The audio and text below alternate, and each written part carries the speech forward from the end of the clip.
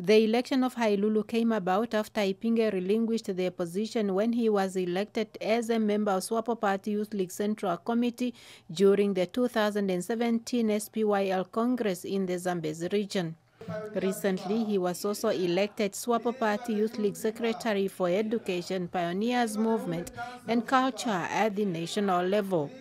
The Ongwediva district election was part of the directive from the Office of the SWAPO Secretary General for the renewal of mandate of the party structures at section, branches, districts, and regional levels.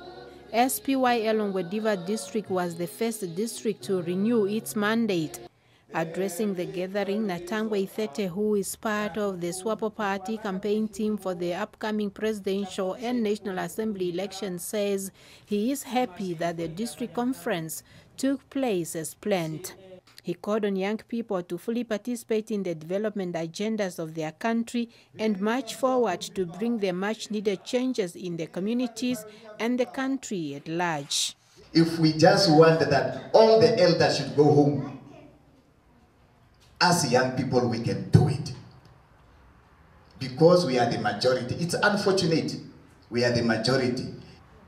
Namibia was not deliberated by the elders youth, they liberated this country. But as the young people, we resolve to stay at the drinking places, insulting elders, engage in wrong activity, and live a better thing for our country.